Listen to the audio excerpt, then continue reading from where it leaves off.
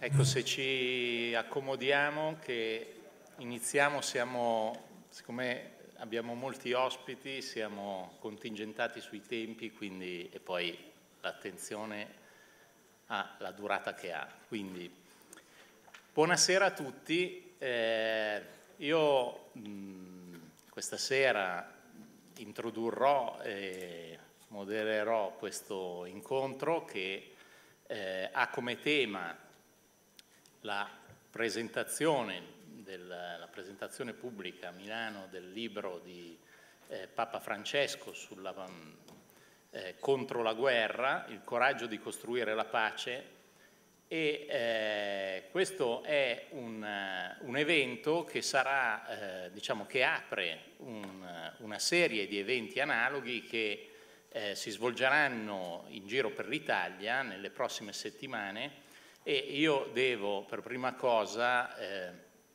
a questo proposito ringraziare eh, chi ci ospita, quindi ringrazio in particolare la professoressa Giovanna Ianna Antuoni, la mia rettrice, io peraltro sono anche eh, insegno in questa università, quindi sono doppiamente onorato di questa opportunità, eh, con cui appunto si condivide anche una certa sensibilità, quindi sono proprio molto felice di poter avviare qui questo, questi, questo tipo di iniziative e eh, tutte le altre autorità accademiche che vedo qui eh, presenti. E adesso, quando, a breve, subito dopo eh, l'introduzione che, che, farò a questo incontro chiederò appunto di farci eh, un saluto eh, a questo proposito. Abbiamo qua anche poi eh, eh il eh, dottor Lorenzo Fazzini, direttore della libreria editrice Vaticana, eh, che insieme a Solferino hanno curato questa edizione anche a lui chiederò un, un saluto e, eh, e, poi presento i nostri ospiti. Eh, Monsignor Paolo Martinelli alla mia sinistra, eh, già vescovo ausiliare di Milano e eh, di recente nomina, eh, leggo per essere preciso, eh, vescovo ehm, appunto vescovo ausiliare di Milano, nominato dal Santo Padre vicario apostolico del vicariato dell'Arabia meridionale. Ecco, questo è un incarico importante e che peraltro lo rende ancora più pertinente ai temi di oggi. Buona fortuna, anzi intanto eh, eh seguiremo le, le sue vicende. Poi eh, interverranno Gian Guido Vecchi, vaticanista del Corriere della Sera, eh, Andrea Tornielli, direttore editoriale del Dicastero della Comunicazione della Santa Sede, Giovanna Parravicini, ricercatrice della Fondazione Russia Cristiana, Elena Mazzola, presidente della ONG Emmaus eh, di Kharkiv, quindi Ucraina, e infine Luca Sommacal, eh, presidente dell'Associazione Famiglie per l'Accoglienza. Eh, questo incontro è promosso da eh, Comunione e Liberazione e eh, permettetemi di eh, dire due parole a riguardo dello scopo, cioè perché abbiamo voluto, abbiamo pensato a questo incontro e poi perché in una sede universitaria, quindi eh, centro della cultura.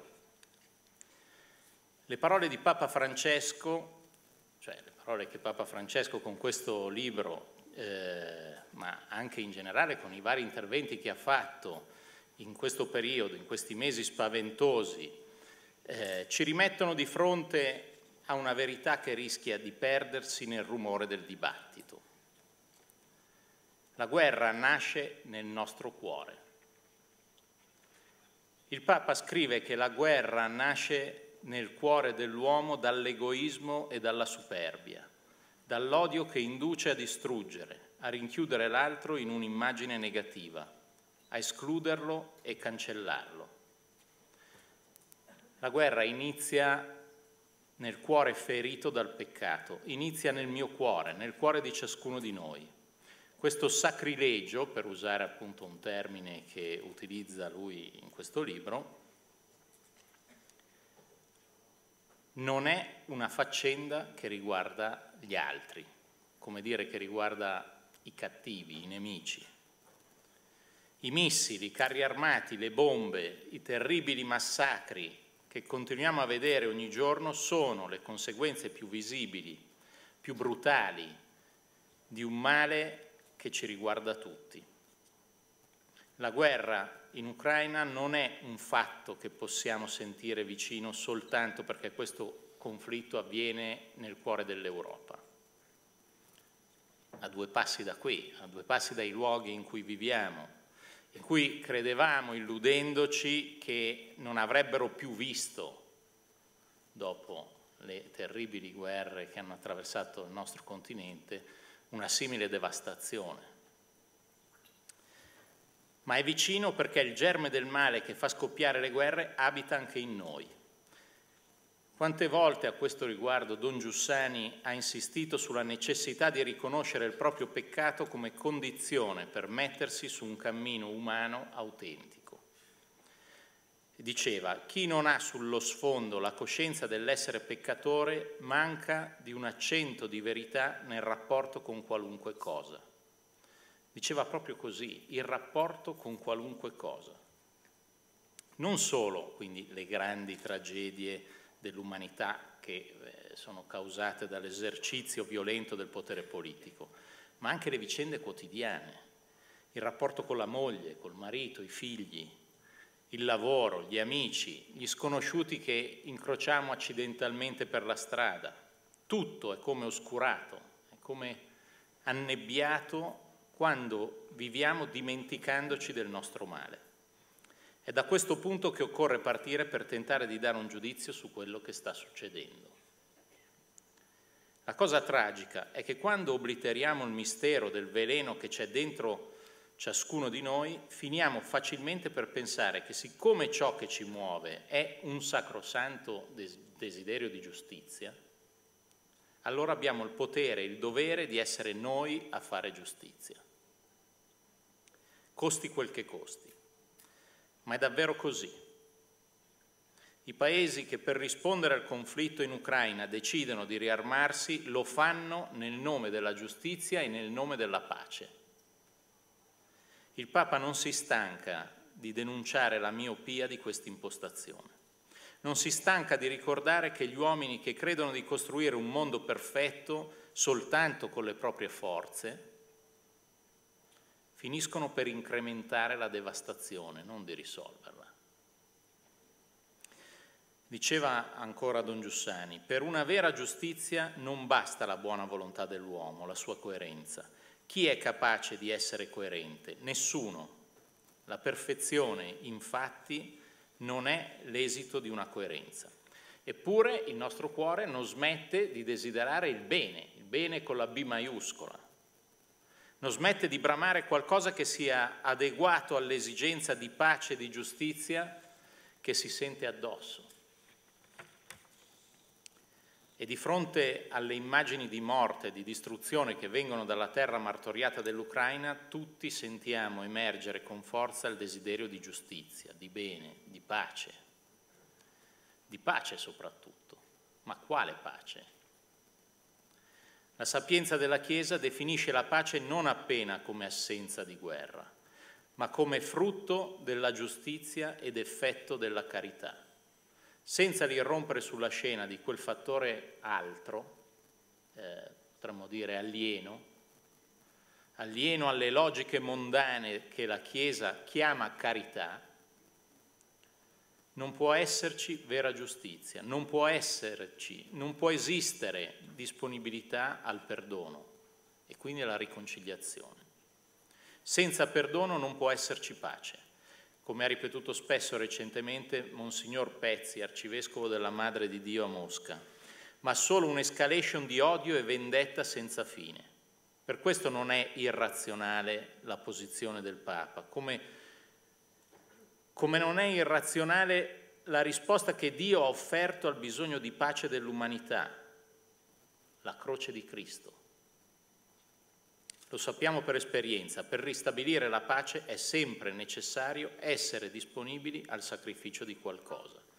Per la mentalità del mondo questa prospettiva è scandalosa, basta guardare le reazioni che hanno suscitato la donna ucraina e la donna russa che eh, il Papa ha invitato a portare insieme la croce alla Via Crucis del Venerdì Santo. Eh, avrete visto, no? E, eh, come se portare la croce insieme significasse mettere aggressore e aggredito sullo stesso piano, in una falsa equivalenza. Ma la vera equivalenza, ce lo ricorda Papa Francesco in tante pagine di questo libro, sta nel desiderio profondo di bene che accomuna il cuore di ogni persona. La Chiesa ci annuncia in maniera incessante che questo bene è entrato nella storia e che non cessa, non cessa di essere presente. Certo, dire questo non scioglie la dialettica dei torti e delle ragioni, né significa rinunciare a tentare di dare una lettura della situazione. Infatti, questa sera abbiamo invitato qui persone che per la loro storia possono aiutarci a entrare nel merito anche questo, proprio a questo livello ma sono certo che i nostri amici sapranno mostrarci che non è dalla sola analisi che può nascere un giudizio veramente adeguato su quanto stiamo vivendo. Nasce da tentativi di ricostruzione che cominciano già ora sotto il fuoco dei missili. Il grido sofferente, condividendo, condividendo il grido sofferente di chi ha perso tutto. Quindi Iniziamo quest, eh, incontro, chiedo alla professoressa Ianna Antuoni se Giovanna ci fa una... Grazie.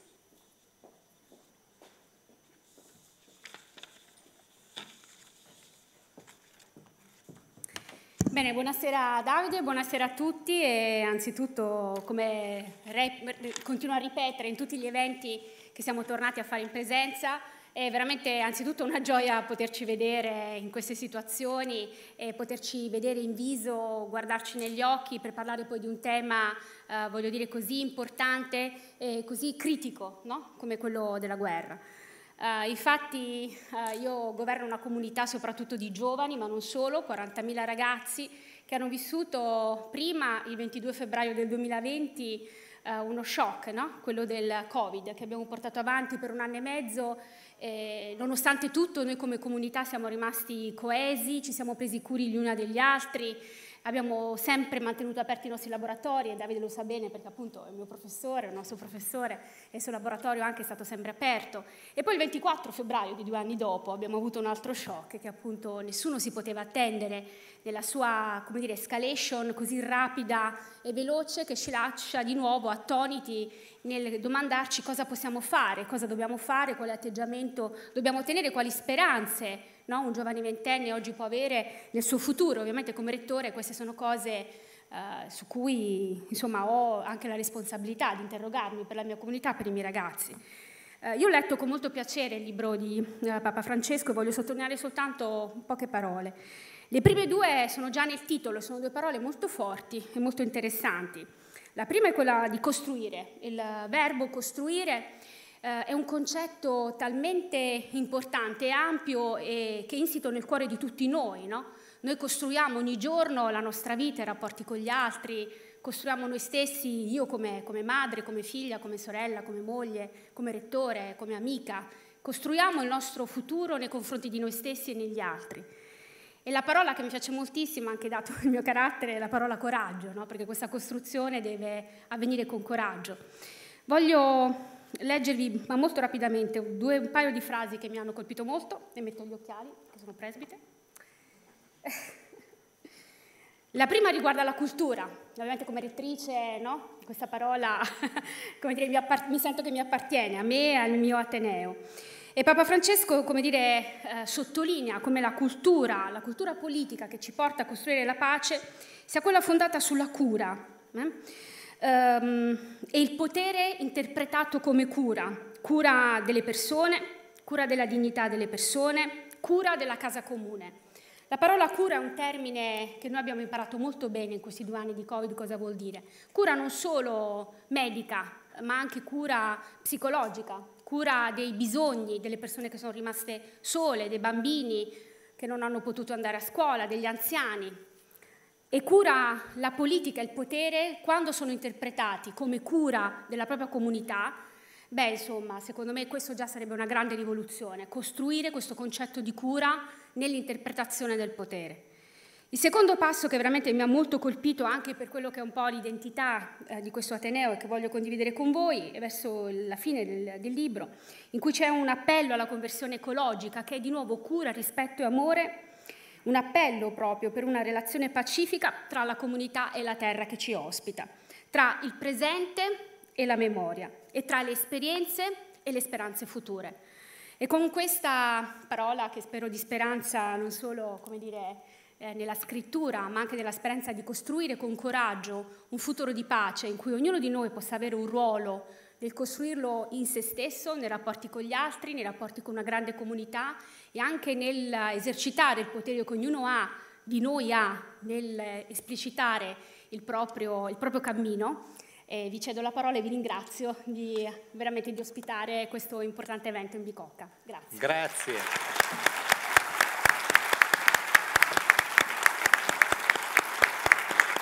Grazie davvero Giovanna per queste parole. Cedo la parola a Lorenzo Fazzini.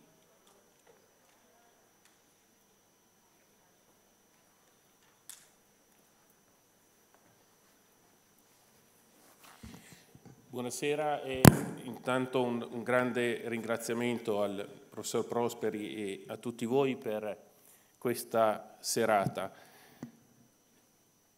Per noi di Libreria Editrice Vaticana è, è davvero un onore poter offrire questo libro insieme alla casa editrice Solferino, da cui vi estrapolo tre numeri. 25 miliardi più 8%, 68. 25 miliardi sono i soldi che il nostro Paese ha investito in armi nel 2021. 8% quanto ha speso in più rispetto al 2020 e 68 milioni quanti ne spende al giorno. Io non so, rettrice, quanto costi l'università, ma penso che con 68 milioni potremmo costruire molti ospedali e molti asili. Nel 1963 Giovanni XXIII nella Pacem in Terris usava la parola che ha usato il professor Porosperi, irrazionale, alienum a razione. Armarci, armare, armarsi nel mondo nucleare è alieno a ragione, cioè è pazzia, è follia, è quello che Papa Francesco continua a ripeterci oggi. E questo non è solo una questione politica, è una questione che riguarda la vita di tantissime persone. Il cardinale di Baghdad mi raccontava che in Italia, in Iraq, è sinonimo di pistola di una famosa marca, conosciuta da soldati, miliziani, terroristi e tutto. Siamo in un'università e mi piace ricordare che nel 1955 due intellettuali come Russell, eh, Bertrand Russell e Einstein fecero un manifesto contro la diffusione delle armi nucleari e oggi sentiamo parlare di minaccia nucleare come se fosse giocare a briscola.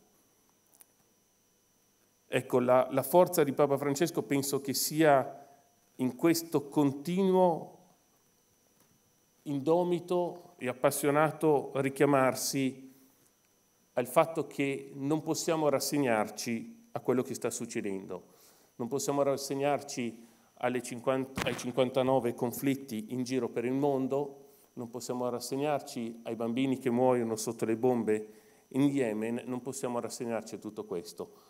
Esserne consapevoli, penso, con incontri di questo genere e come diceva il professor Prosperi, con altri che verranno, è la prima cosa, è la prima carità cristiana, penso, è sapere e conoscere. Lo dico da persona che cerca con i libri di offrire dei momenti e delle riflessioni, voi lo sapete bene, perché davvero cuore e ragione eh, lavorino insieme. Io ringrazio davvero l'Università, ringrazio la casa editrice Solferino, tutti quanti sono intervenuti e vi auguro un buon proseguo.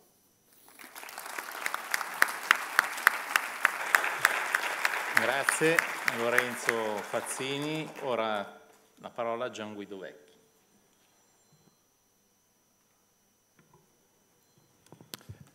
Eh, buonasera. Eh, sarebbero tante le cose da dire di questo libro. Eh, credo che la, la, cosa più importante, quella più essenziale, sia eh, come dire, offrire una chiave di lettura. In queste settimane molti si sono eh, esercitati nel, nell'interpretare le parole del Papa eh, secondo mh, eh, dire, categorie geopolitiche, politiche o altro, eh, di schieramento o altro. Ehm, eh, direi che la cosa più importante anzitutto è eh, vedere, leggendo il libro, eh, come le cose che il Papa sta dicendo a proposito dell'Ucraina si ritrovano in tutto il suo pontificato, fin dall'inizio. Io ricordo in particolare quando andò al Sacrario Militare di Re di Puglia eh, e poi ad Anzio, eh, 8-9 anni fa eh, il Papa eh, denunciava il pericolo della terza guerra mondiale combattuta a pezzi, eh, un pericolo del quale ora ci accorgiamo perché c'è una guerra eh, in Europa, ma il Papa ne parla fin dall'inizio del pontificato. Eh, ma in che senso? Mentre riflettevo su cosa dirvi oggi, eh, mi è venuto in mente ehm, quello che ci ha detto il Papa mh, il mese scorso, all'inizio del mese scorso, stavamo tornando dalla, dal viaggio a Malta e il Papa alla fine del viaggio ehm, risponde sempre alle domande dei giornalisti che lo hanno seguito ehm, durante la sua visita. E mh, alla fine lui mh, diceva, siamo innamorati, me lo sono scritto qui, proprio la risposta a una delle nostre domande, siamo innamorati delle guerre dello spirito di Caino, non a caso all'inizio della Bibbia c'è questo problema, lo spirito cainista di uccidere. E poi ha concluso dicendo, io sono addolorato per quello che succede oggi, non impariamo che il Signore abbia pietà di noi, di tutti noi, tutti siamo colpevoli che può sembrare anche una, una, una uh, frase strana, mm, del resto lo stesso Papa negli Angelus in innumerevoli occasioni in questi mesi eh, è stato molto chiaro nel distinguere le responsabilità dell'aggressore da, da, dagli aggrediti, eh, ha usato parole molto forti sul, eh, sul eh, sacrilegio del, dell'invasione russa eh, all'Ucraina. E allora, e allora mh, mm, c'è una cosa molto interessante che eh, Francesco ha detto eh, proprio pochi giorni fa ehm, al Corriere della Sera, al mio giornale, intervistato dal, dal, dal direttore eh, Luciano Fontana. Ehm, è una cosa che mi ha colpito. A un certo punto ha detto, ho chiesto all'osservatore romano di pubblicare un articolo del cardinale Martini eh, sulla guerra. È perfetto. E allora io ho pensato, andiamo, andiamo a rileggerci cosa scriveva il cardinale Martini. Eh, io a, ai tempi, stiamo parlando del eh, ehm, settimana immediatamente successiva all'attentato dell'11 settembre a New York, quindi siamo nel 2001, 21 anni fa. E io ai tempi eh, ero qui a Milano, seguivo il cardinale Martini, ricordavo quel discorso, ma sono andato a rileggerlo, eh, perché allora, come rischiamo di fare oggi, l'avevamo tutti letto stando attenti ai riferimenti all'attualità, la reazione degli Stati Uniti, ehm, i riferimenti specifici al terrorismo, e, mentre invece in quel discorso c'era molto di più. Eh, Martini ehm, iniziava mh, riflettendo su un passaggio di Luca eh, diceva nel passaggio in cui si dice in quello stesso tempo si presentarono a riferirgli circa quei Galilei il cui sangue Pilato aveva mescolato con quello dei loro sacrifici. Prendendo la parola Gesù rispose, credete che quei Galilei fossero più peccatori di tutti i Galilei per aver subito tale sorte? No, vi dico, ma se non, se non vi convertite perirete tutti allo stesso modo. Allora lì c'erano alcuni che avevano compiuto un atto almeno terroristico secondo le autorità romane e, ehm, e Gesù di fatto non risponde alla domanda diretta che gli viene fatta. E eh, è buffo perché Martini eh, eh, dice di essere andato a vedere i commenti di Sant'Ambrogio, che di solito è molto, eh, come dire, mm, si sofferma molto, con, e dice in questo caso Sant'Ambrogio è molto reticente, cioè non affronta l'argomento, perché è, è, colpisce questa apparente reticenza di, di Gesù. E, ehm, e, questo è interessante andare a rileggere proprio perché se Francesco dice è perfetto eh, quello che ha scritto il suo antico confratello, evidentemente c'è qualcosa che riguarda anche il modo di leggere gli interventi di questo libro.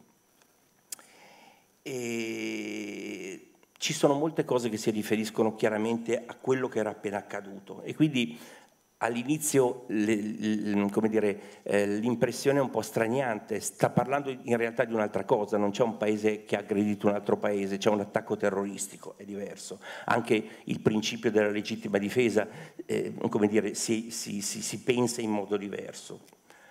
Um, però, però Martini va oltre, a un certo punto dice... Um, Gesù non entra in nessuno dei problemi che hanno in mente i suoi interlocutori, rimanda alla radice profonda di tutti questi mali, cioè alla, peccano, alla peccano, peccaminosità di tutti, alla connivenza interiore di ciascuno con la violenza e il male, quello che diceva Francesco aereo, siamo tutti colpevoli. E precise, non intende per nulla togliere a ciascuno la sua concreta responsabilità, Ognuno è responsabile delle proprie azioni e ne porta le conseguenze. Eppure, eppure gli importa assai di più segnalare che gli sforzi umani di distruggere il male con la forza delle armi non avranno mai un effetto duraturo se non si prenderà seriamente coscienza di come le cause profonde del male stando dentro nel cuore della vita di ogni persona. E c'è un passaggio che noi giornalisti ignorammo, perché stavamo pensando ai passaggi specifici sul terrorismo, che letto adesso eh, si riesce a capire perché abbia colpito così Francesco. Ed è un passaggio molto, come dire, drammatico. Dice, si interroga su che cos'è la pace, il grande bene della pace. Dice la pace è il, più, è il più grande bene umano perché è la somma di tutti i beni messianici. Come la pace è simbolo e sintesi di tutti i beni, così la guerra è sintesi e simbolo di tutti i mali. Non si può mai volere la guerra per se stessa perché è sistematica violazione di sostanziali diritti umani. Vi saranno al limite casi di legittima difesa di beni irrinunciabili, però il contrasto all'azione ingiusta, non di rado doveroso e meritorio, quindi non, non, non si nega questo, deve restare nei limiti strettamente necessari per difendersi. Ed è qui il passaggio, credo, chiave. Potranno anche essere necessarie coraggiose azioni di ingerenza e interventi volti alla restaurazione e al mantenimento della pace, ma non saranno ancora la pace. La pace, come si ricordava, non è solo assenza di conflitto, cessazione delle ostilità, armistizio. Non è neppure soltanto la rimozione di parole e gesti offensivi, offensivi, neppure solo perdono e rinuncio alla vendetta o saper cedere pur di non entrare in lite.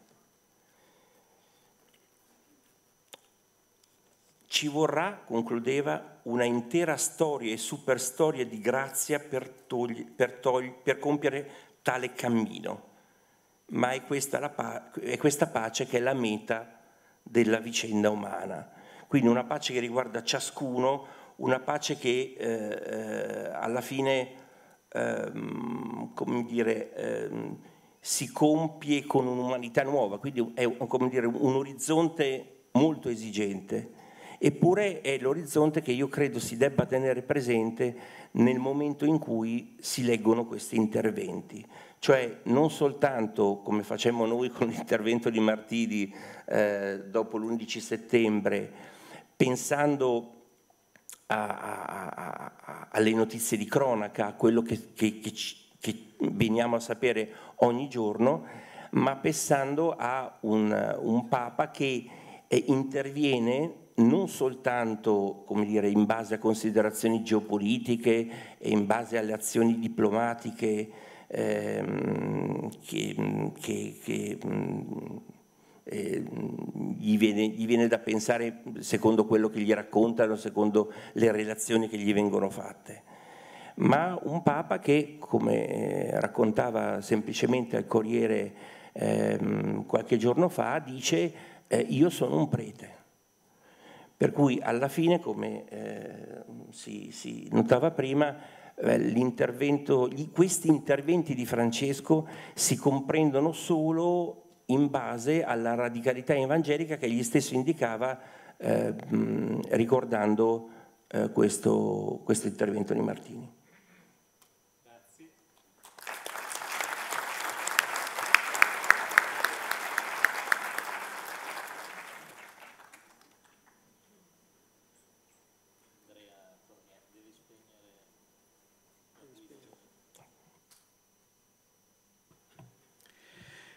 Grazie, mi, eh, grazie dell'invito.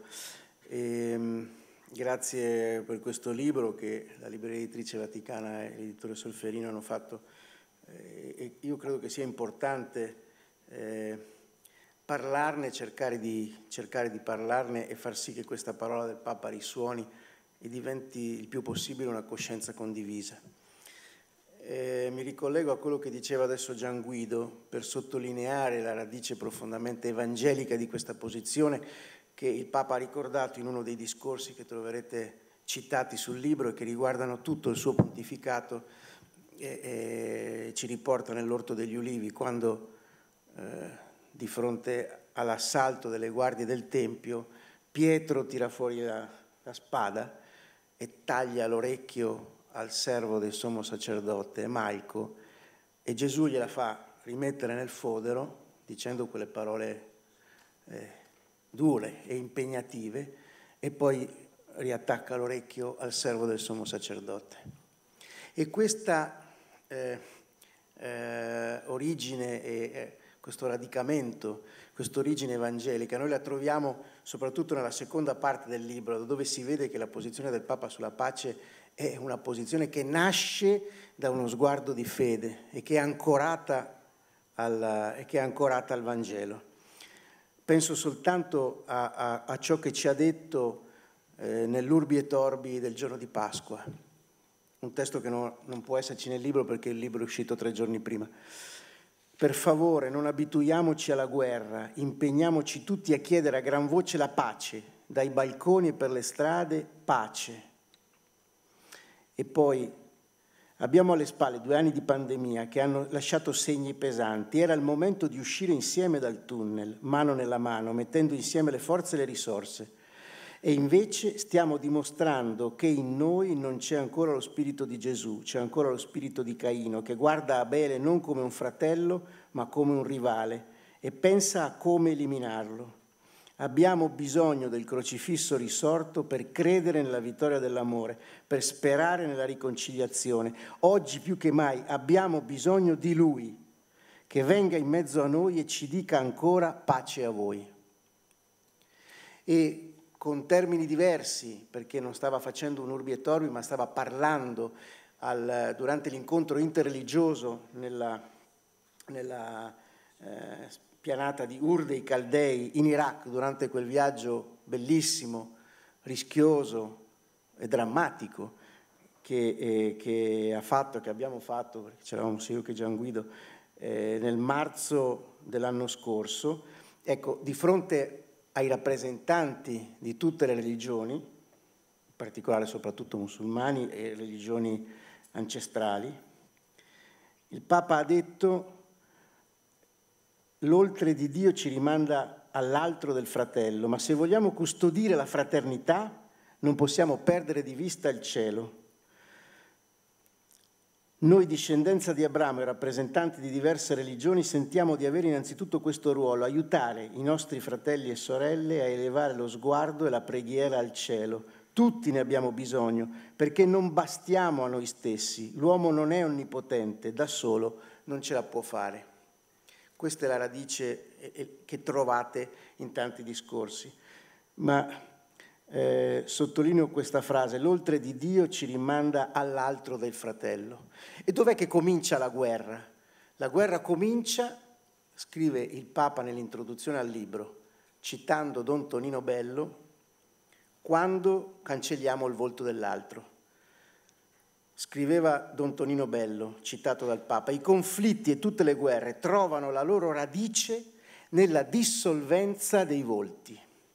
E poi aggiungeva, aggiunge il Papa, quando cancelliamo il volto dell'altro, allora possiamo far crepitare il rumore delle armi. Quando l'altro, il suo volto come il suo dolore, ce lo teniamo davanti agli occhi, allora non ci è permesso sfregiarne la dignità con la violenza. Se poi l'altro è addirittura un fratello nella fede, come sta accadendo adesso, sapete che la sensibilità del popolo ucraino è, e, e così acce- loro adesso si arrabbiano tantissimo. Io ho, ho, faccio questa esperienza perché nei media vaticani che tra, tra, trasmettono, scrivono eh, in, sul web, la Radio Vaticana, in tutto in 51 lingue, abbiamo una, senzio, una sezione ucraina e una sezione russa. E chiaramente questi, da quando è iniziata la guerra, le riunioni giornaliere sono, sono riunioni drammatiche perché abbiamo i giornalisti, un sacerdote della redazione che sono sempre in contatto con i parenti, che ci tengono informati, il, il, il, il dramma dei, dei, loro colleghi russi che sono porta uh, a fianco.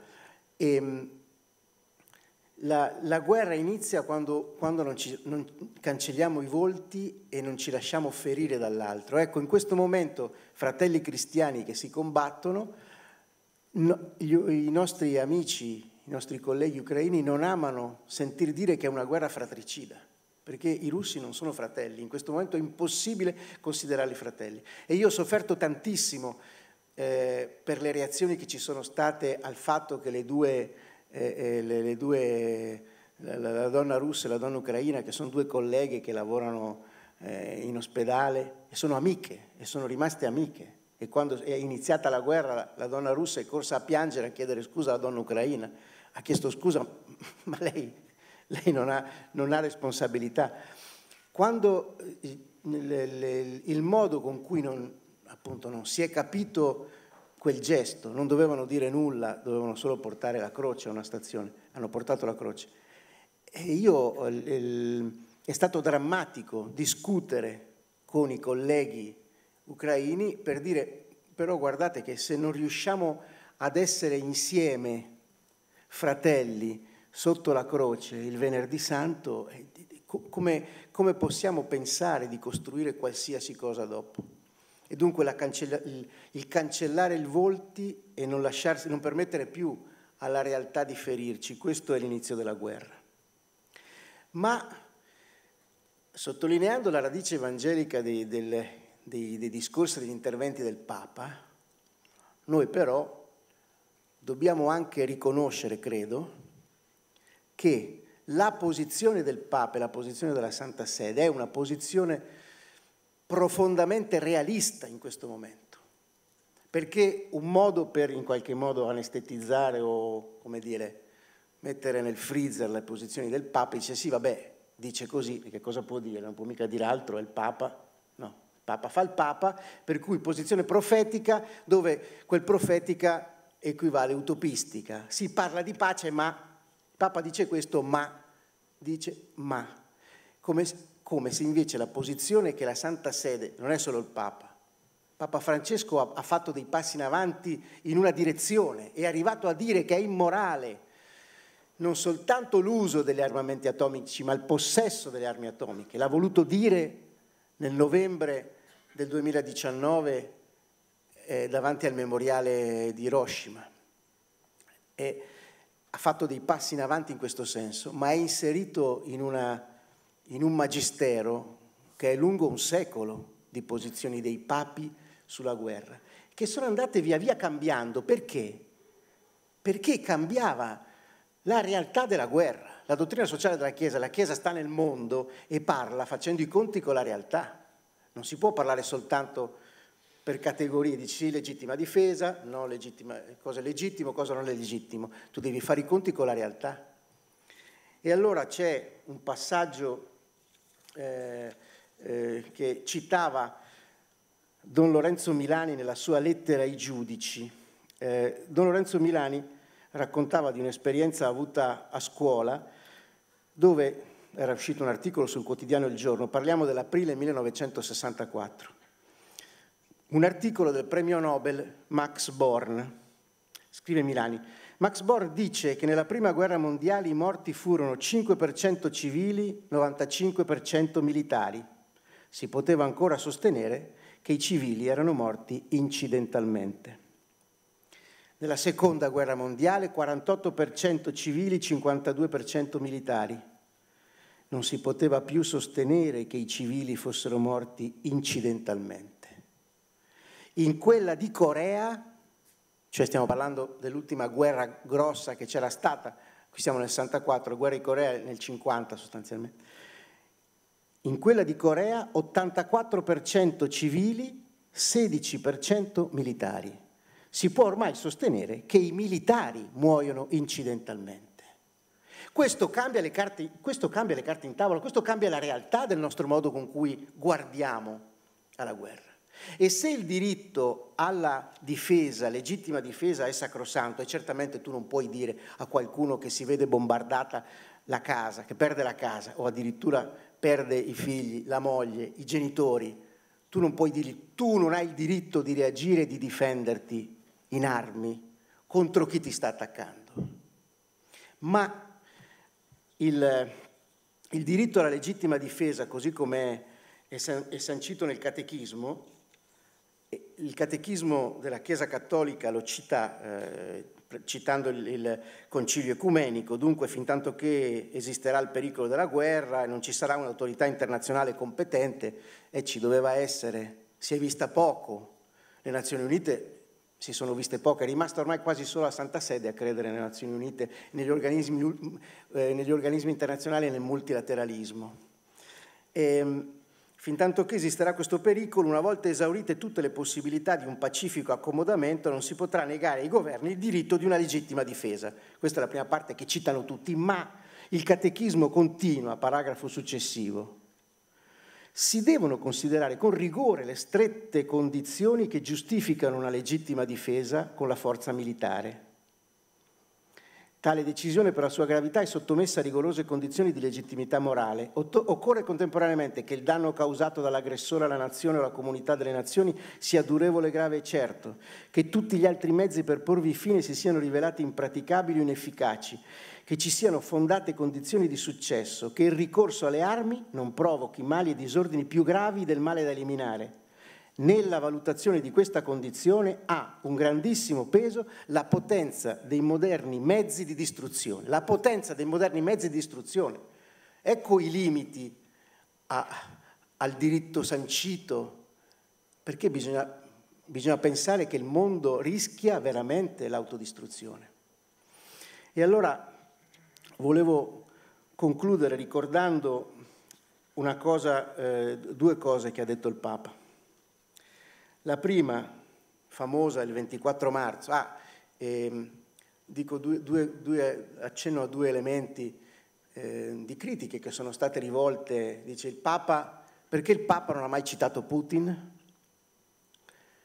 Beh, I papi all'Angelus nei discorsi pubblici non chiamano mai per nome un capo di Stato indicandolo come cattivo.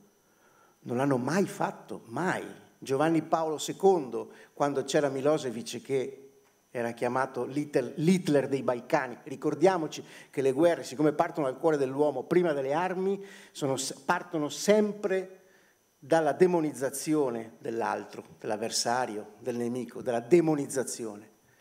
Il Papa non, non ha mai fatto i nomi, quando supplicò tremante nel marzo del, 2000 e del 2003, supplicò i governi occidentali, inglese, spagnolo e statunitense, di non fare la guerra in Iraq, che ricordiamolo è stata fatta sulla base di informazioni assolutamente false, l'esistenza di armi di distruzione di massa che non c'erano, non fece mica i nomi dei, dei capi di Stato. E il fatto che all'indomani dell'inizio della, dell'aggressione russa contro l'Ucraina il Papa sia andato di persona e, e credetemi gli costa in questa, in questa, fase della sua vita camminare, eh, muoversi, gli costa.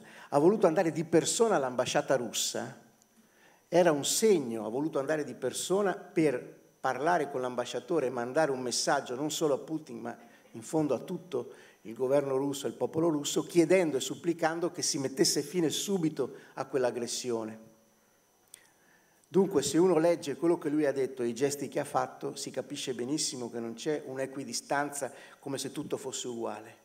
C'è però un realismo profondo del fatto che si sa che cosa comporta la guerra. Siamo stati in Iraq nel 2021, l'Iraq è un paese devastato, non, so, non solo nelle macerie che si vedono, ma nella violenza nei cuori delle persone. E per rigenerare il tessuto di una convivenza, che prima c'era, per rigenerare il tessuto una convivenza è più difficile che ritirare su un grattacielo, è più difficile. L'Iraq è stato trasformato nella sentina di tutti i terrorismi da quella guerra sciagurata, la quale San Giovanni Paolo II supplicò tremante di non, di non fare. Dunque c'è un realismo profondo nelle, nelle parole del Papa. E mi ha colpito moltissimo e in questo credo stia anche una, una, una chiamata, un compito che, che, ci riguarda, che, ci riguarda, tutti. Regina Celi del, di domenica primo maggio, Papa ha detto, mentre si assiste a un macabro regresso di umanità, mi chiedo insieme a tante persone angosciate se si stia veramente ricercando la pace, se ci sia la volontà di evitare una continua escalation militare e verbale, se si stia facendo tutto il possibile perché le armi tacciano. È ovvio che lui l'ha posta come ipotesi e come domanda, ma è ovvio, altrettanto ovvio che se guardiamo la realtà la risposta è no a tutte e tre. Non si sta veramente ricercando la pace. Dunque quando il Papa dice, come citava prima Gian Guido, della necessità di abbandonare lo schema di guerra per abbracciare lo schema di pace, credo che dica che ci vuole uno scatto e che, e che va fatto di più, va fatto di più tutti, va fatto di più tutti, per chiedere che si fermino le armi, ma che soprattutto ci sia qualcuno che, pensa, che pensi al dopo, a come si ricostruisce, anche a come si ricostruisce una convivenza internazionale, che non sia più basata soltanto sulle alleanze militari e sulle colonizzazioni economiche, per usare due parole che hanno usato sia il Papa che il cardinale segretario di Stato Pietro Parolin. Grazie.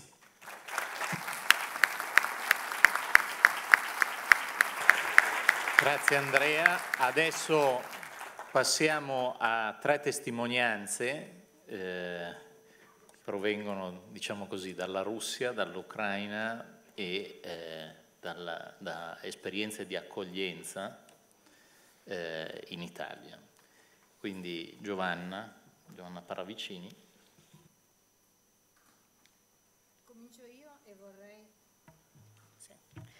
e vorrei cominciare citando alcuni versi che mi sembrano siano l'immagine Mm, non solo di questa guerra, ma come anche del mondo e della possibilità che il mondo ha oggi.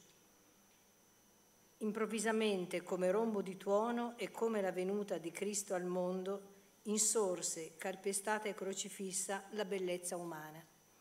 È eh, una poesia, il manifesto umano, che eh, scritta nel 58, il suo autore giovanissimo, Galanskov, sarebbe morto poco tempo dopo in lager, eh, è stata un po' l'inizio, l'avvio di eh, un movimento di rinnovamento della vita culturale, ma poi anche sociale, della società civile all'interno della Russia.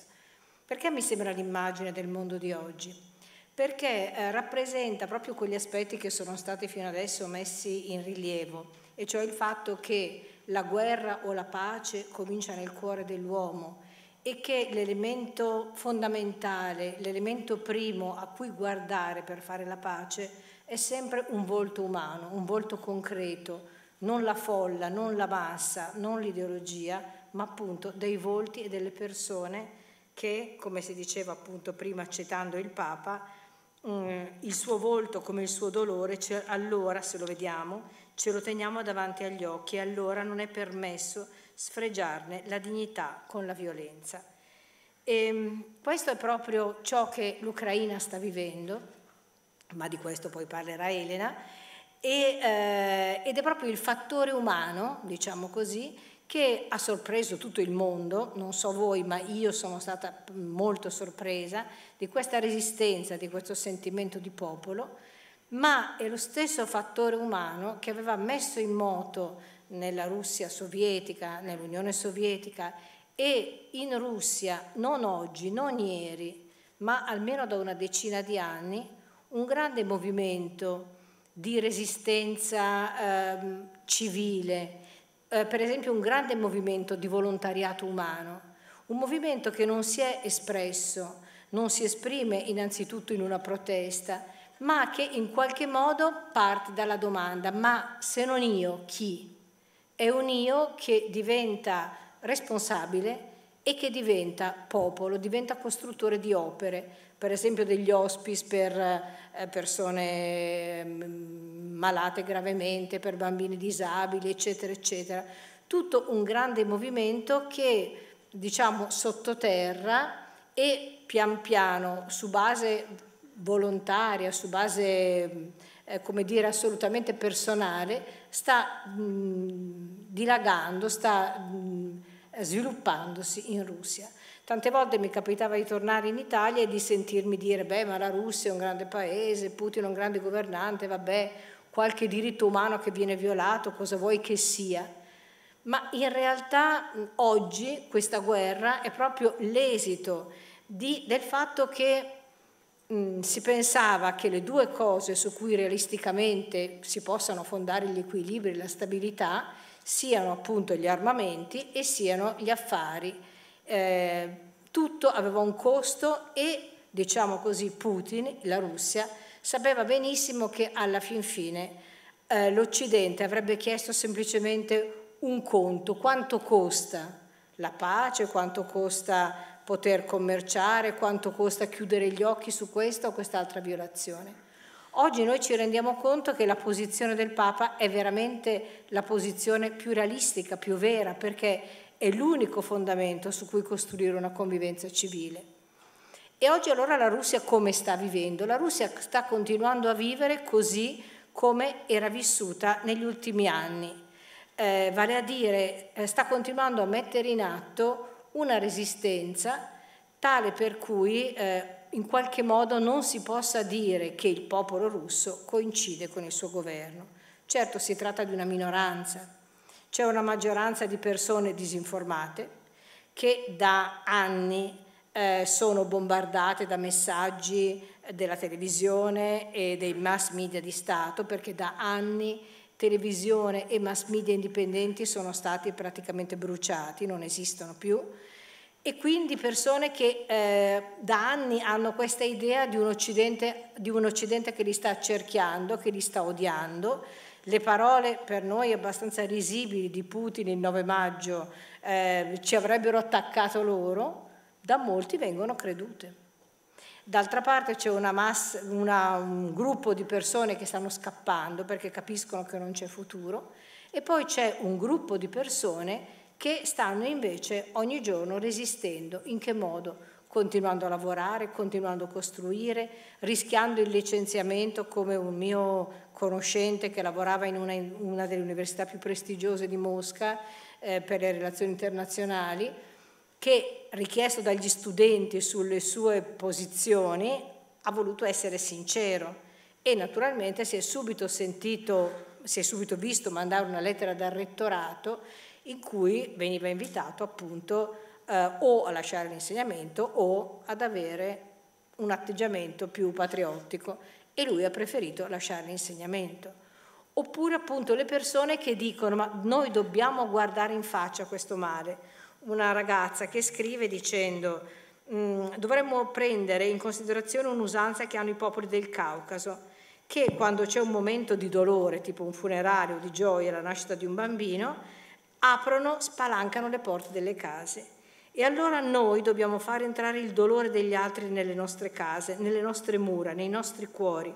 Dobbiamo fare entrare la guerra in casa nostra, ricordarci ciò che è successo, guardare le foto, i video. Eh, immaginate che vostra figlia o vostro padre vengano uccisi, che la vostra città, la vostra strada, la vostra memoria vengano bombardati in modo che i vostri figli non possano scrivere su Facebook tra 20 anni, non so, non credo, non può essere. Cioè proprio questa idea di eh, ogni cosa può essere, mi raccontavano di due ragazze che si erano messe in metro a cantare una canzone ancora sovietica molto popolare in cui però si diceva niente guerra e cose del genere e poi sulla metropolitana gli hanno applaudite, qualcuno si è anche messo a piangere e quella che me l'ha raccontata mi scriveva eh, io mi ripeto, i nostri figli sono migliori di noi, questi ragazzi un giorno costruiranno un nuovo Stato, sano e libero, e intanto rischiano fino a 15 anni per una semplice canzone, come tutti noi quando non riusciamo a tacere davanti a illegalità e arbitri senza fine che vediamo tutto intorno. Eh, questa è una prima cosa. La seconda cosa che mi colpiva molto è il fatto che il Papa insista molto sul fatto che la pace è un dono. E oggi la Russia sta vivendo un grande dramma dal punto di vista cristiano. Non devo ripetere a nessuno, appunto lo stesso Papa nell'intervista di qualche giorno fa al Corriere della Sera ha espresso il suo dolore, il suo rammarico per le posizioni prese dalla gerarchia ufficiale. E si moltiplicano eh, le citazioni delle stelle, usando una citazione che mi ha molto colpito perché è una delle citazioni che ritornano nel libro del Papa, ma che era pensata una citazione che Pavel Florensky dal lager, siamo nella fine degli anni 30, lui al lager delle Saravki, eh, la chiesa a quel tempo è una chiesa incatenata, imprigionata, il metropolita è sceso a patti col regime, comunque stanno bastonando e fucilando tutti quanti, e lui scrive ai figli, le lettere devono passare dalla censura, non può parlare esattamente come oggi non si può più parlare in Russia. Eh, lui scrive ai figli, eh, uscite fuori quando sarete tristi, quando avrete l'animo pesante, uscite fuori e guardate le stelle. C'è proprio questa consapevolezza di una realtà, di un mistero, di una divinità eh, di cui siamo figli e che ci è padre e che tutti quanti ci unisce. E proprio questa unità fa sì che tante volte in Russia e in tutto il mondo ci possano essere queste unità così difficili, così improbabili, ma così vere. Poco più di un anno fa abbiamo presentato a Mosca, al nostro centro culturale, eh, la enciclica Fratelli Tutti, tradotta in russo, pensate, dai musulmani, che l'hanno fatta perché volevano capire di più se stessi, perché attraverso la parola del Papa, attraverso la parola di questa enciclica, eh, potevano veramente capire di più, andare più a fondo sulla loro identità religiosa. E quindi guardate le stelle, Guardate le stelle e proprio scoprendovi figli potete scoprire anche una vostra fraternità. È uno sguardo nuovo, mi piaceva molto quello che si diceva prima, guardare l'oltre di Dio per scoprire l'altro dell'uomo, perché è proprio questa possibilità che il Papa mi sembra dà, eh, e non soltanto per una, certo anche per una questione diplomatica, ma eh, proprio per una questione di voler reintegrare ogni persona eh, come interlocutore nella sua dignità umana. Io credo che se il Papa avesse la possibilità, volerebbe domani a Mosca, entrerebbe nel Cremlino e eh, parlerebbe a tavola, cioè dico a tavola, insomma sul tavolo, eh, con eh, Putin, come dire da cuore a cuore, come Gesù parlava con la peccatrice, con Nicodemo, con il giovane ricco, mh, mm, guardandolo con speranza, guardandolo con la speranza di un cambiamento.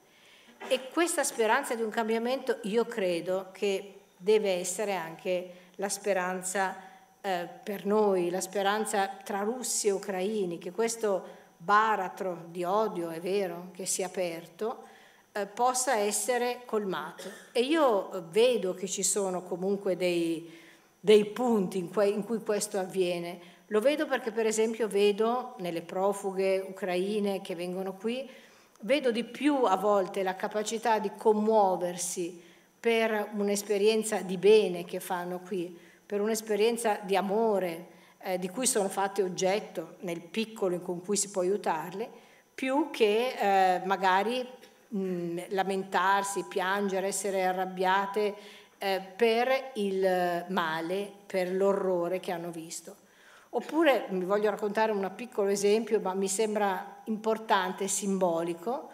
Mm, conosco una ragazza russa, una pianista, che è qui in Italia da anni, ha sposato un italiano, due bambine, e quando è scoppiata la guerra, eh, io l'ho sentita, ci siamo sentite al telefono e la vedevo molto affaticata, molto appesantita da questa situazione, perché era pur sempre russa, era pur sempre il suo paese, improvvisamente per la strada tutti la guardavano male, i suoi parenti in Russia sono filorussi, filo, filo putiniani, insomma, e quindi faceva anche fatica, diceva non è che magari l'Occidente esagera, non è che magari questi ucraini sono veramente un po' nazionalisti, cioè la fatica di accettare, di fare proprio un percorso di accettazione.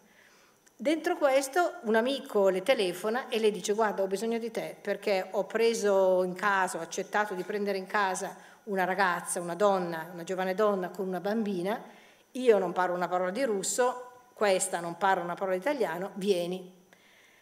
La ragazza russa si sente male perché dice ma no, com'è possibile che io adesso vada lì, come guardo in faccia io questa ucraina e soprattutto come questa ragazza ucraina mi potrà guardare in faccia però d'altra parte all'amico non poteva dire di no, per cui è andata. E questa ragazza ucraina mi hanno raccontato come ha sentito parlare russo, perché non crediate che russo o ucraino le lingue siano discriminanti. Gli ucraini a seconda delle zone molto spesso parlano russo o ucraino o indistintamente tutte e due. E questa ragazza, come ha sentito finalmente parlare una lingua familiare, in questo caso il russo, le ha buttato le braccia al collo e eh, hanno parlato sono, e poi adesso continuano ad aiutarsi. Ecco, è proprio quando diventa un volto, quando diventa un volto, una concretezza e tu capisci che l'altro è veramente segno di una misericordia di cui sei fatto oggetto. E diventa veramente possibile il perdono, nel senso che tu capisci innanzitutto eh, che eh, tu hai bisogno di essere perdonato che ci sono tante cose per cui siamo arrivati fin qui nella guerra, in cui ciascuno di noi è connivente. Ciascuno di noi, certo, non avrà buttato la bomba, ha, però eh, abbiamo tutti contribuito a creare una civiltà in cui tutto aveva un prezzo, tutto veniva calcolato, tutto, c'erano delle priorità e non ce n'erano altre. E volevo finire con l'esempio di un anziano sacerdote russo ortodosso del patriarcato di Mosca che ehm, adesso fa il parroco a Brescia e che mi diceva che era molto colpito, anche lui russo, mh, da un lato si trova le parolacce scritte sul portone della chiesa, anche se non c'entra niente, dall'altro sta aiutando moltissimo tutte le profughe russe, le famiglie che, e le ucraine che arrivano in Italia. No? E mi diceva, ma quando vedo voi italiani ricordando anche la diversità con cui magari erano stati accolti altri profughi, che vi date così da fare per questa gente, per questi profughi, io non posso non pensare una cosa, che voi non state facendo soltanto del bene, della carità nel senso, ma state facendo del bene a voi stessi. È come se voi rispondeste alla domanda, che è anche un rimprovero, che fa l'angelo dell'Apocalisse, quando dice tu hai dimenticato il tuo primo amore. È come se voi diceste, sì è vero, io ho dimenticato il mio primo amore, però poi me ne sono ricordato, però poi l'ho incontrato di nuovo, però poi mi sono di nuovo innamorato di questo primo amore. E lui diceva, ma qual è questo primo amore che voi italiani state incontrando? È la libertà, e cioè il fatto di comprendere che c'è un'altra priorità, rispetto alle priorità che tutti i giorni ci poniamo nella vita, eh, farsi la posizione, lavorare, arrivare al 27 del mese, eccetera. Chiudo. Eh, e questa priorità è proprio la libertà. La libertà che è tipica dell'Europa, lui diceva, ma che è anche tipica mh, dell'essere umano, creato immagine e somiglianza di Dio. E questo è ciò che permetterà, permette già adesso una solidarietà, un'unità e il perdono.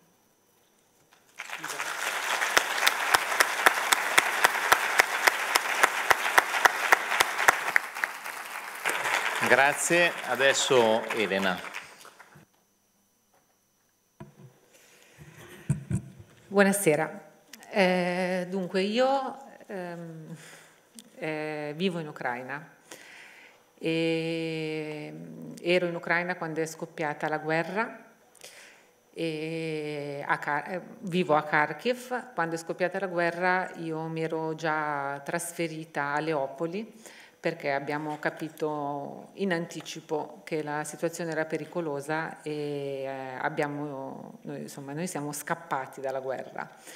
Eh, l'organizzazione di cui mi occupo è un'organizzazione Emmaus che ehm, si prende cura di ragazzi vulnerabili, ragazzi che hanno già nella, nella loro vita fatto quell'esperienza, l'esperienza del male di cui abbiamo già parlato, no? Questa, la radice profonda di ogni. Io dico sempre, loro hanno già vissuto la guerra, per questo noi li abbiamo fatti scappare prima che iniziasse, perché già nella loro carne, per l'abbandono, eh, sono ragazzi orfani e, o ragazzi disabili, abbandonati, eh, cresciuti senza l'amore di una famiglia in orfanatrofio Ehm, e per cui noi, eh, per, per noi era insopportabile pensare che loro potessero subire un'ulteriore violenza. Per questo siamo riusciti a leggere la realtà in anticipo e a scappare.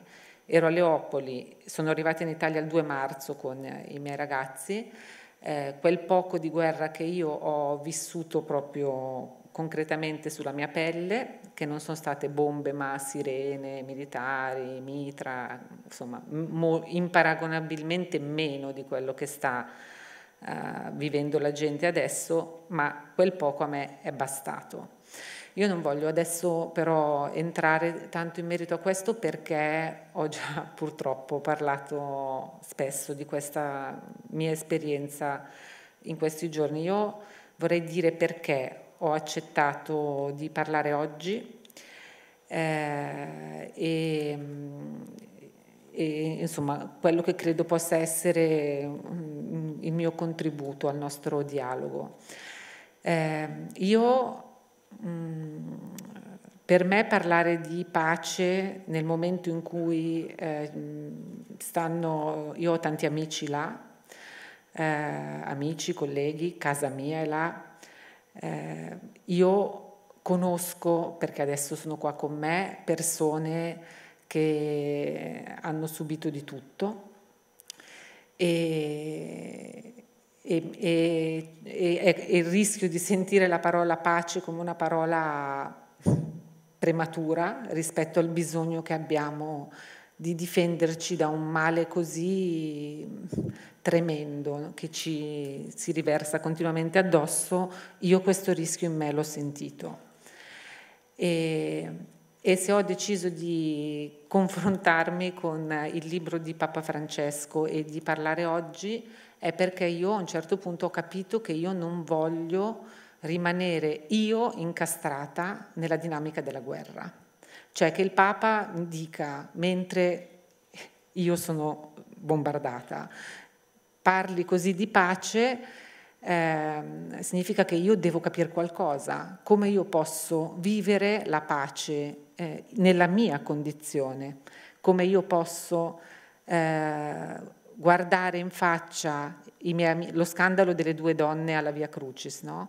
come io posso guardare in faccia i miei amici e dire pace, no? non solo difesa ma pace. Eh, faccio degli esempi perché per me questo è molto drammatico. Eh, nell'ultima settimana io mi sono resa conto di quanto eh, sia necessario dire pace e sia necessario guardare e capire quello che Papa Francesco ci sta indicando. Perché? Una delle mie ragazze a un certo punto è venuta e mi ha regalato una maglietta con su scritto il mio cuore è ucraino. Io ho preso la maglietta bellissima e poi aveva lì altre bandierine così e mi dice vuoi anche questa? E io dico che cos'è? E lei mi dice no qua c'è scritto eh, grazie a Dio non sono nata, non sono nato moscovita. Con una parola però che è dispregiativa in russo per dire moscovita. E io le ho detto no, eh, questa non la voglio. E lei mi ha detto io sì. Questa è una ragazza che ha il cuore al posto giusto, cioè non è una che è guerrafondaia però ha questa reazione, oppure una signora che è buonissima, bravissima, ucraina in Italia da cent'anni, loro stanno aiutando tantissima gente sia là che a venire qua, così a un certo punto, ma proprio dal nulla mi guarda e mi dice io i russi vorrei ucciderli tutti uno per uno altri miei amici che un, parlando, questo me l'hanno raccontato oggi, nel dialogo con una nostra amica, eh, quando lei ha iniziato a parlare di pace, ironia puro, cinismo puro. Ecco, io so perché succede così. Io lo so, io so i casi particolari. La prima ragazza di cui vi ho parlato ha un amico, amico carissimo che è scomparso vicino a Kherson mentre portava aiuti umanitari, tutti quelli della sua comitiva sono stati ammazzati, questo ragazzo è scomparso e questa signora del secondo esempio, ehm, eh, il suo vicino di casa di 23 anni eh, era stato mandato obbligatoriamente a combattere, ferito, tre giorni in ospedale, morto eh, questi altri amici stanno perdendo tutto, non hanno più una casa, non possono tornare a casa, io so perché, ma io capisco che c'è un punto eh, per cui quello che diceva Giovanna, se non io chi, ha a che fare con il mio cuore. Sono io che posso oggi decidere e trovare il modo di non entrare in guerra e se non lo faccio io adesso, no? eh, se non sono io a... Eh, cioè quando noi diciamo la, la radice è nel profondo del cuore, però poi parliamo della guerra, parliamo della difesa, parliamo della pace, ecco io capisco che c'è questo passo piccolissimo del dire sono io adesso che nel mio rapporto con te devo decidere se riconoscere che tu sei mio fratello oppure con te continuare a litigare e poi parlare della pace in Ucraina.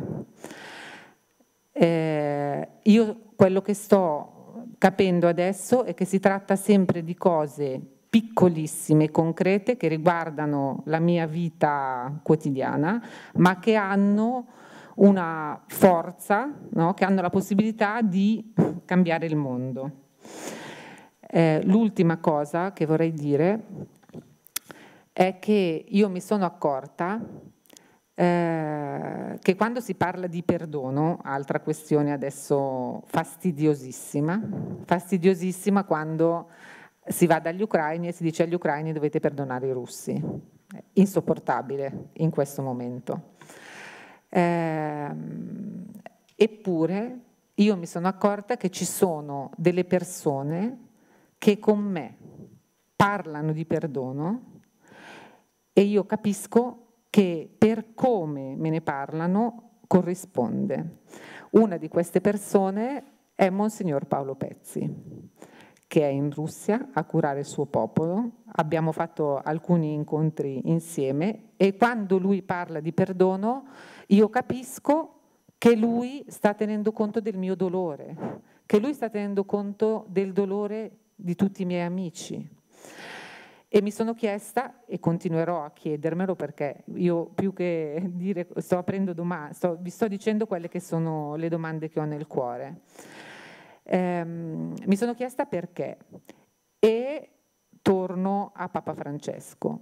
A me eh, impressiona moltissimo come eh, il Papa accompagna tutto quello che lui ci sta dicendo sulla pace con una compassione per l'uomo, un, un'intervista che ho visto uh, alla televisione, no? a un certo punto gli viene chiesto, ma davanti alle persone che così soffrono, che, hanno, insomma, che stanno vivendo sulla loro pelle questa distruzione, no? questa, questo male sconfinato, lei cosa direbbe a queste persone? E lui dice, io ho imparato che in questi casi eh, l'unica cosa che posso fare è silenzio e piangere. Ecco, io mi, sono, mi sto accorgendo che c'è un modo di guardare l'uomo che è silenzio e piangere, che, in cui io vedo accadere il modo in cui Cristo guarda me. E allora mi permette di pronunciare la parola perdono. Elena. E Luca, Famiglie per l'accoglienza.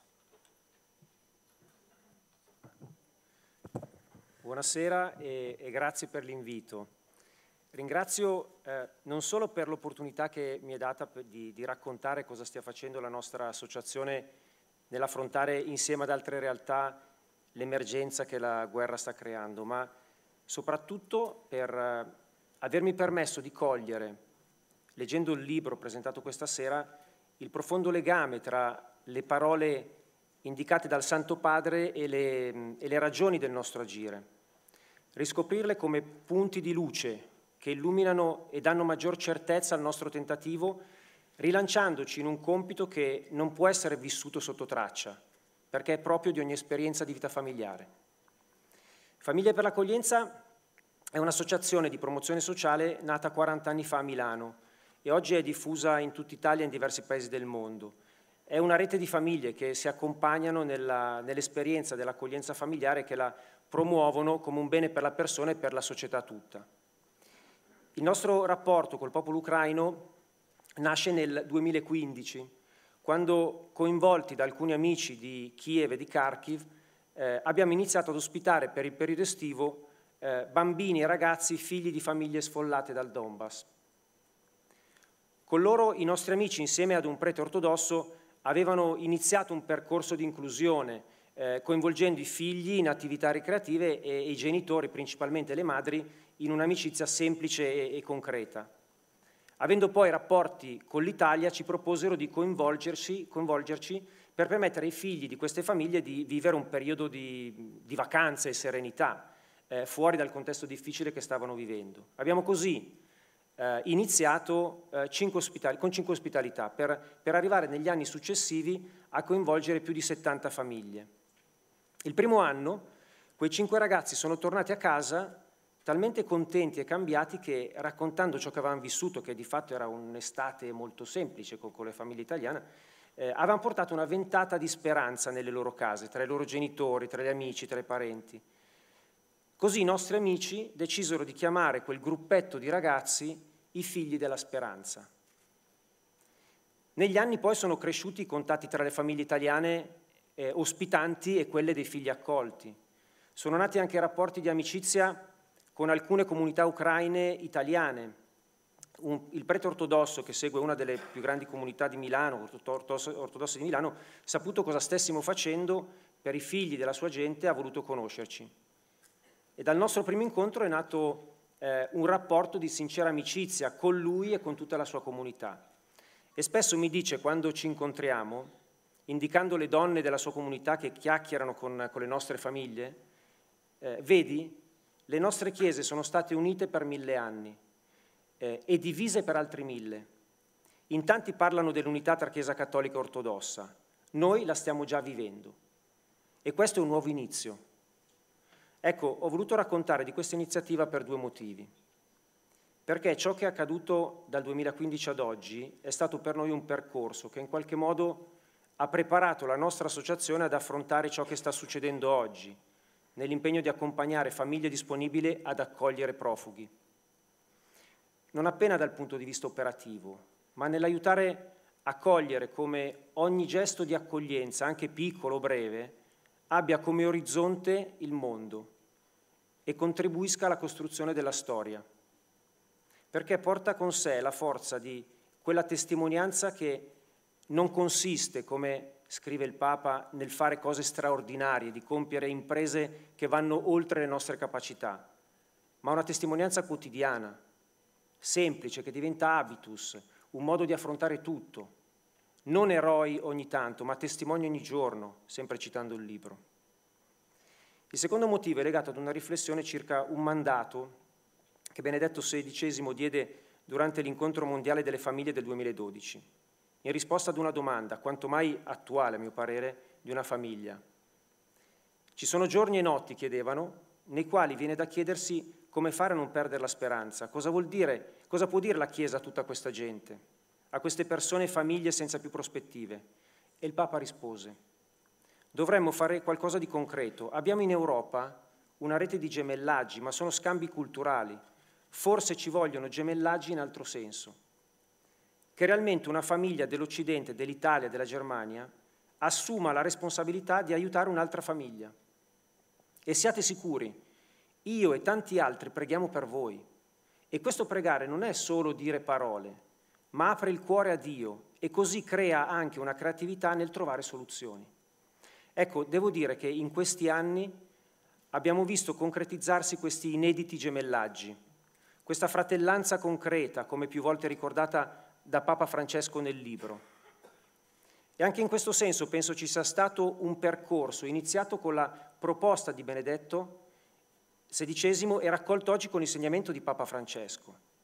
Cioè abbiamo visto l'avviarsi di, come, cita, come dice lui, processi di incontro, processi che costruiscono un popolo capace di raccogliere le differenze, cioè di accogliere. Con lo scoppio della guerra si sono intensificati i contatti tra le nostre famiglie e quelli dei ragazzi accolti a suo tempo e in breve tempo ci siamo trovati ad organizzare le prime accoglienze. Una donna con due figlie che abita nei pressi di Kiev, a pochi chilometri da Bucia, eh, non avendo il coraggio di lasciare tutto per venire in Italia, eh, non aveva il coraggio, non aveva il coraggio per, per, venire per, venire in Italia, quindi lasciare tutta la sua famiglia, i suoi parenti anche, eh, il marito. Quando ha saputo che la stavamo aspettando, ha deciso di partire.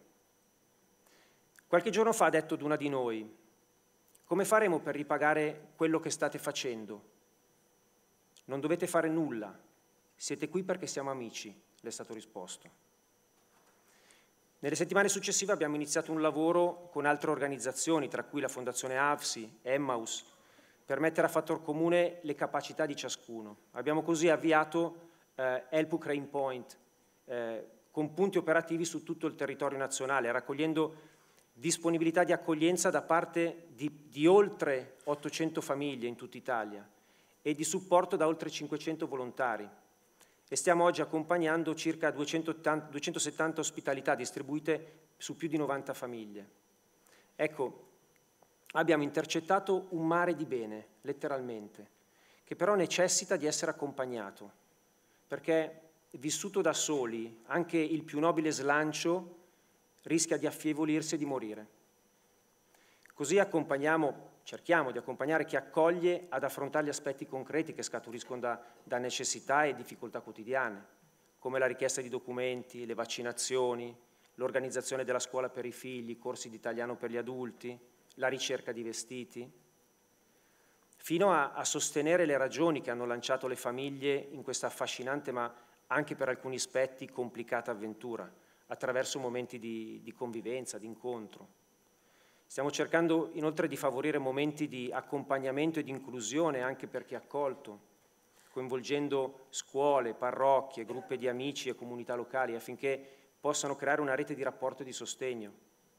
Perché non basta dare un letto o un rifugio, occorre coinvolgere in una vita. Così solo potremo capire il dono prezioso che sono per noi queste persone che stiamo accogliendo e come questa accoglienza sia già un'esperienza di pace, perché la pace, citando il Papa, è un lavoro artigianale, si fa con le mani, si fa con la propria vita. E ancora, citandolo, perché non ci sarà pace senza condivisione e accoglienza. Ecco, in queste settimane stiamo assistendo allo spettacolare diffondersi di tantissimi gesti di solidarietà. La guerra sembra aver ridestato una nuova apertura, ci siamo tutti messi in movimento. A me sorprende pensare alle, 800, alle oltre 800 famiglie, a come siano arrivate a proporsi, ad aprire le porte di casa per ospitare. Per ospitare in fondo chi? Degli sconosciuti, degli estranei. Eh, ne avranno parlato a cena tra di loro, con i figli, avranno deciso di mettere a posto una camera eh, per dedicarla agli ospiti. Ma perché hanno dato questa grande disponibilità? Che cosa li muove? Bisognerebbe chiederlo a ciascuno di loro. Io, per quanto mi riguarda, mi permetto di rispondere riprendendo eh, una bellissima lettera che Don Giussani scrisse alla nostra associazione in occasione dei vent'anni dalla nascita, che dice, cari amici, il vostro esempio illumina per me la strada del futuro, una familiarità o fraternità che si apre in un abbraccio senza remore. Così vi raccomando di non smettere mai di accogliere, imitando il gesto di Cristo coi bambini che incontrava. Se Lui, il Signore, si è chinato sui più piccoli per segnare la strada ai grandi, voi che fate lo stesso siete resi segno di una novità che come onda si dilata di famiglia in famiglia, dalla più prossima alla più lontana, in un movimento che è inizio di una società più umana, perché è fatta di persone appassionate al destino degli uomini dareste la vita per uno solo di essi, avendo voi conosciuto il fattore che dà la vita e il respiro ad ogni cosa, così che chiunque incontrandovi si senta finalmente a casa, cioè ospitato e sicuro come bimbo tra le braccia del Padre. Appunto, avendo noi conosciuto il fattore che dà la vita e il respiro ad ogni cosa. Grazie.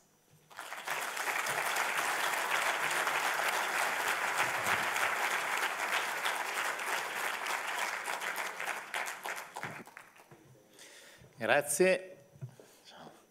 E, um, ora cedo la parola a Monsignor Paolo Martinelli. Buonasera a tutti, bentrovati.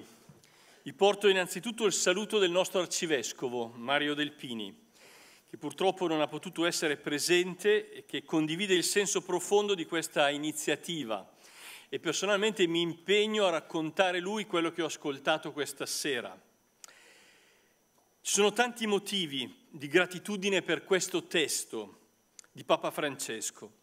L'urgenza di questo libro si impone, data la situazione degli eventi in Ucraina e la situazione drammatica di tante altre guerre dimenticate, che grazie a Papa Francesco vengono ancora ricordate e ripresentate all'opinione pubblica.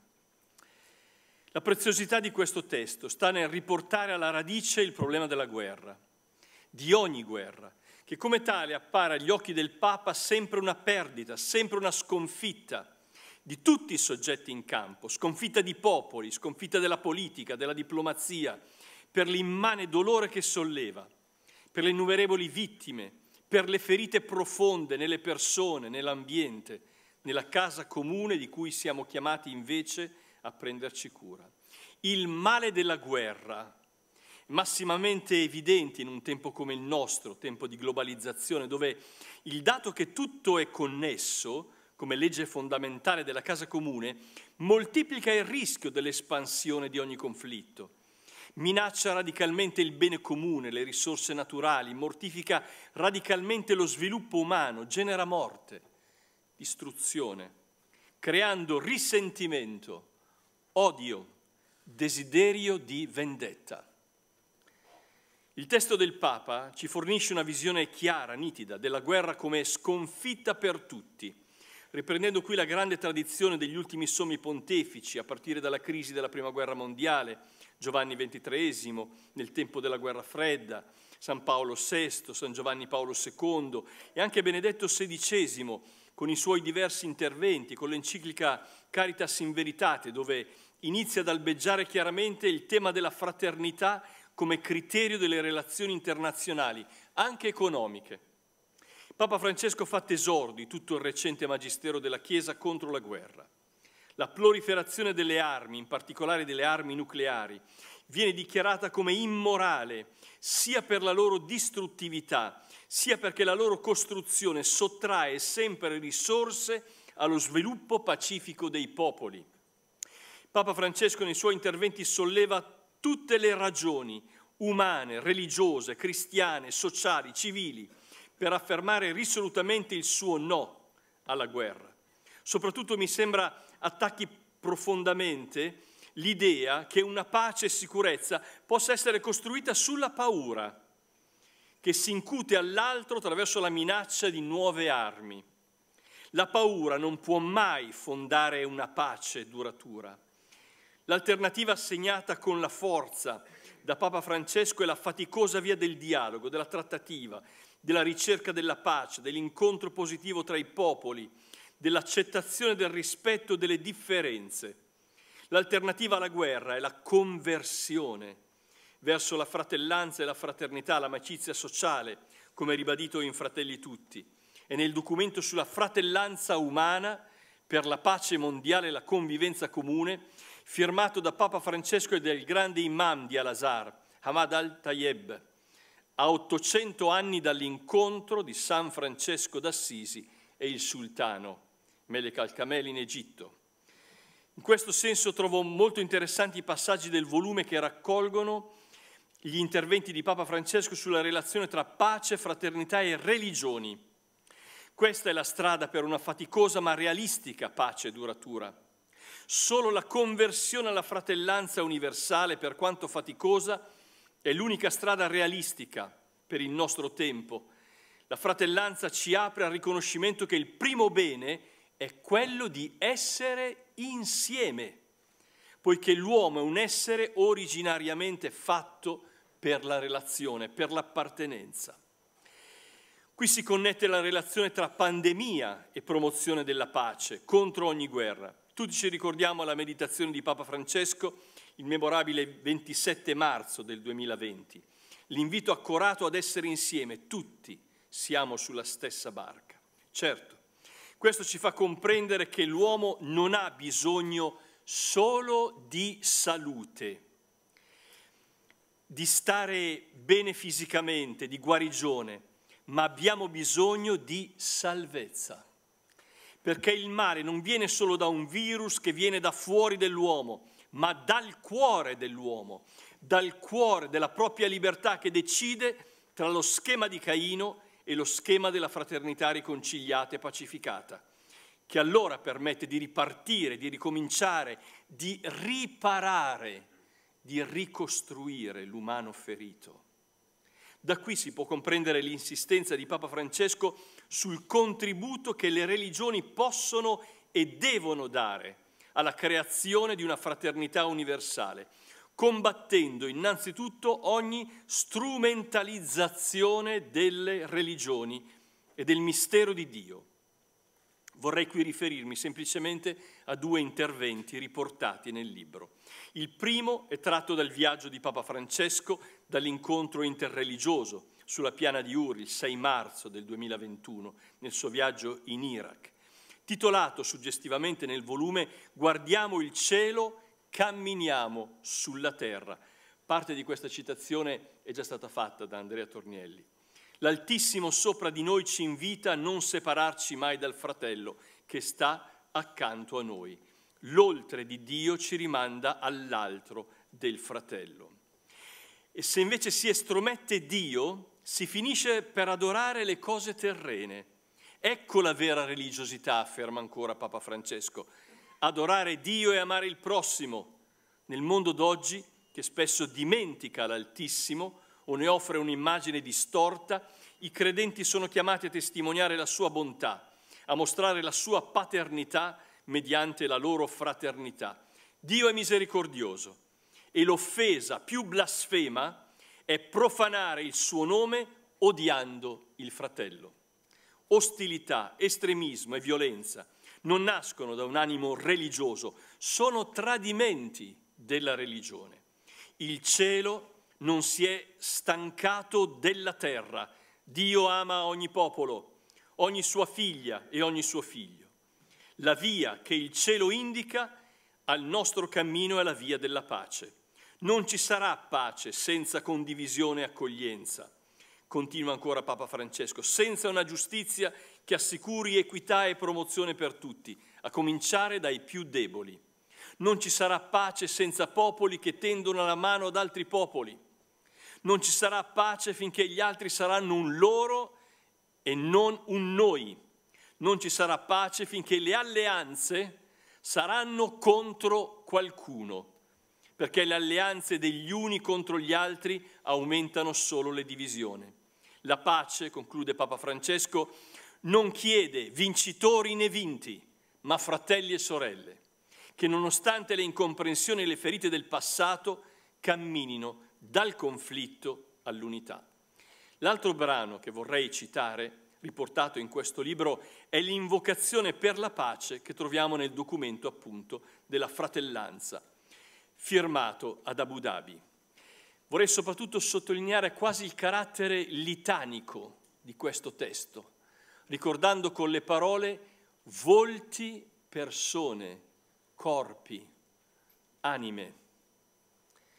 In nome di Dio, che ha creato tutti gli esseri umani uguali nei diritti, nei doveri, nella dignità, e li ha chiamati a convivere come fratelli tra loro per popolare la terra e diffondere in, essi, in essa i valori del bene, della carità e della pace in nome dell'innocente anima umana che Dio ha proibito di uccidere, affermando che chiunque uccide una persona è come se avesse ucciso tutta l'umanità e chiunque ne salva una è come se avesse salvato l'umanità intera. In nome dei poveri, dei miseri, dei bisognosi, degli emarginati che Dio ha comandato di soccorrere come un dovere richiesto a tutti gli uomini, e in particolar modo a ogni uomo facoltoso e benestante, in nome degli orfani, delle vedove, dei rifugiati, degli esiliati, dalle loro dimore e dai loro paesi, di tutte le vittime della guerra, delle persecuzioni, delle ingiustizie, dei deboli, di quanti vivono nella paura, dei prigionieri di guerra, dei torturati, in qualsiasi parte del mondo senza distinzione alcuna, in nome dei popoli che hanno perso la sicurezza, la pace e la comune convivenza, divenendo vittime delle distruzioni, delle rovine e delle guerre, in nome della fratellanza umana che abbraccia tutti gli uomini, li unisce e li rende uguali, in nome della libertà che Dio ha donato a tutti gli esseri umani, creandoli liberi e distinguendoli con essa, in nome della giustizia e della misericordia, fondamenti della prosperità e cardini della fede, in nome di tutte le persone di buona volontà presenti in ogni angolo della terra, in nome di Dio e di tutto questo dichiariamo di adottare la cultura del dialogo come via, la collaborazione comune come condotta, la conoscenza reciproca come metodo e criterio. Carissimi fratelli e sorelle, contro la guerra dunque Papa Francesco afferma incondizionatamente la dignità, la sacralità radicale di ogni persona il suo essere voluta, amata da Dio, chiamata a relazioni di fratellanza. Il dialogo è il metodo. Dialogare per la vita buona, che è sempre innanzitutto il bene di vivere insieme. Papa Francesco riconosce che per noi tutto questo ha la sua radice ben precisa, nella paternità di Dio su tutti gli uomini rivelataci in Gesù Cristo, figlio di Dio, nostro fratello, crocifisso, risorto, vittorioso sul male e sulla morte, nella potenza dello Spirito Santo che è spirito di figli. Ma riconosciamo che questa è una verità donata, che sta anche quando non fosse riconosciuta dagli altri. Per questo, il beato Charles de Foucault, presto canonizzato, si è sentito chiamato ad essere fratello universale di tutti, nessuno escluso. Per questo San Francesco d'Assisi ha avuto come ideale l'essere fratelli tutti, ed è a questi santi e a innumerevoli altri che chiediamo di intercedere per il dono impagabile della pace, del perdono reciproco e della riconciliazione. Grazie.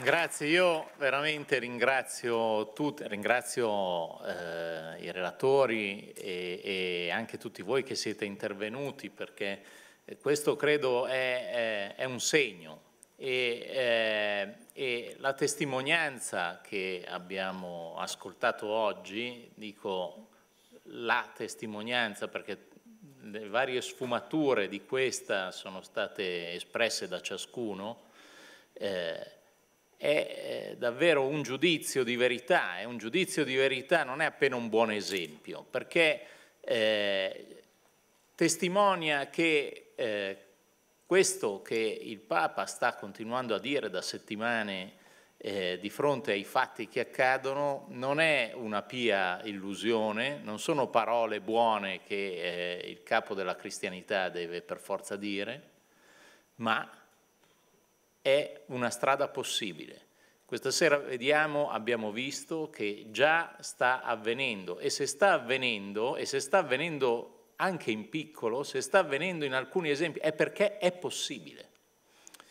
E prima diceva eh, Andrea Tornielli, i conflitti di tutte le guerre nascono dalla dissolvenza del volto dell'altro e ne abbiamo ascoltato varie testimonianze, sia in negativo e sia quando questo invece in positivo genera una, una solidarietà e eh, una eh, cura reciproca e quindi anche una gratitudine.